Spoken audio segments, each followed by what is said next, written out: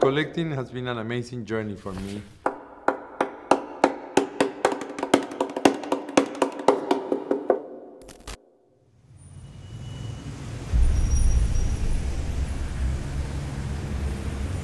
don't know why every time I talk about my country, it's like I just, I don't know, I get overwhelmed by it.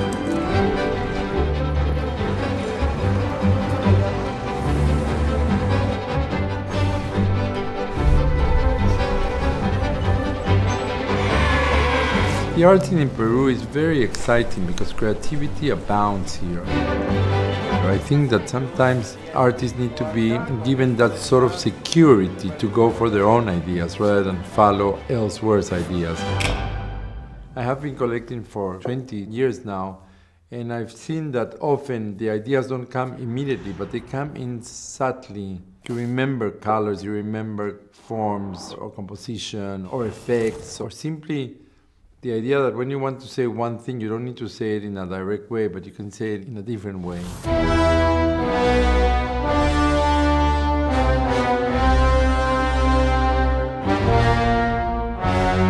Collecting has been a very interesting journey in my life because I've learned to feed from another world that isn't the fashion world.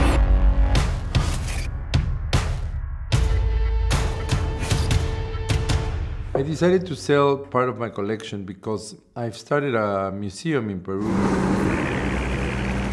And the museum has many possibilities.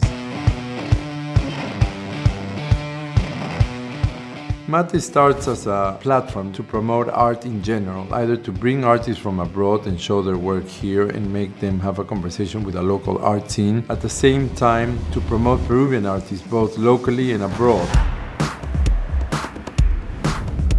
Tonight we are at the opening of Mate. Come in. We're doing Masters of Photography with Graciela Iturbide. We're doing Chris Levine, which opens a show called Light is Love. Thank you, Mario. And we have Christian Bendayán from the Iquitos region of Peru, who has done the letters. You know, every six months we change these letters and we give it to all different Peruvian artists.